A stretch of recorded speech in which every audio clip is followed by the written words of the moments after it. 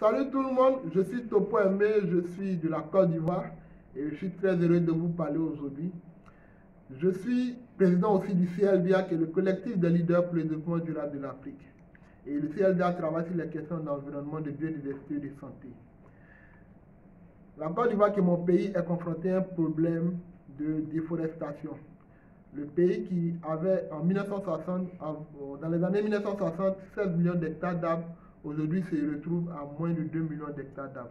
Et cette question est très importante pour nous parce que la Côte d'Ivoire se détériore de sa forêt et elle perd sa biodiversité.